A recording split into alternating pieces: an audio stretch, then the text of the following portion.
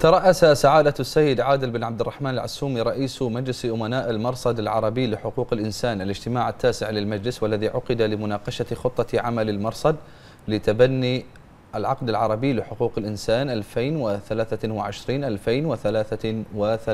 وعقد الاجتماع أيضا للتحضير للمؤتمر السنوي الأول لحالة حقوق الإنسان في العالم العربي وفي كلمته أو في كلمة له خلال الاجتماع أشاد العسومي بالنقلة النوعية التي سجلتها مملكة البحرين في ملف حقوق الإنسان. مثمنا في هذا الصدد الإنجاز التاريخي الذي حققته المملكة باختيارها ضمن الفئة الأولى في مجال مكافحة الاتجار بالأشخاص وفقا لتقرير وزارة